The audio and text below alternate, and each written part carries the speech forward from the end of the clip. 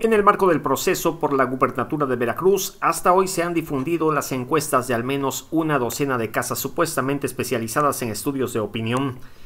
Todas esas encuestas, sin excepción, marcan una clara ventaja, en ocasiones irremontable, para la candidata de la 4T Rocío Algunos de esos estudios consignan más de 20 puntos de diferencia y hay otras empresas que reducen esta diferencia a 4 o 5 puntos entre Nale y Pepe Yunes. Como se dice en el ámbito de los políticos, las encuestas favorecen a quien las paga. Lo único cierto es que esas herramientas, muy útiles para la toma de decisiones en una empresa o en una contienda electoral, terminaron por convertirse en un instrumento de manipulación de la opinión pública. De ese tema le voy a platicar en mi columna de este martes y le invito a leerla en horacero.mx.